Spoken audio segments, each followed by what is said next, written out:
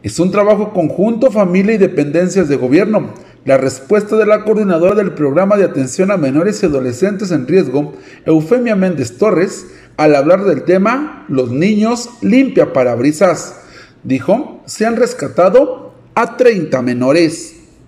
Sí, mira, ha disminuido muchísimo de este, el, trabajo de niños, sobre todo en los cruceros. Sí que es un trabajo pues donde están más en riesgo, en peligro de que les pueda suceder algo, algún accidente. Y bueno, pues gracias a nuestra presidenta, la señora Rosa Isela Conichi Romero, pues hemos tenido todo el apoyo para que estos niños que trabajaban allí en la vía pública pues puedan recibir su educación y se han incorporado a diferentes escuelas primarias, secundarias y bueno, algunos en bachillerato. Y bueno, con satisfacción te puedo este, decir que actualmente pues tenemos uno niño estudiando, bueno, ya que estuvo tres años en preparatoria, ahorita ya está en lo que es el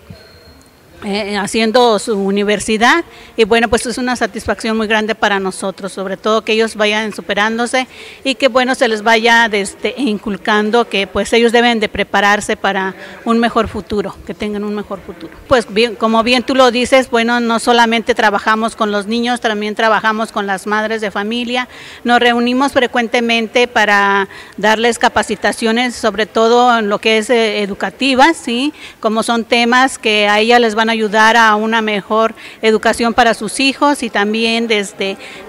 ahora sí que manualidades que bueno pues a,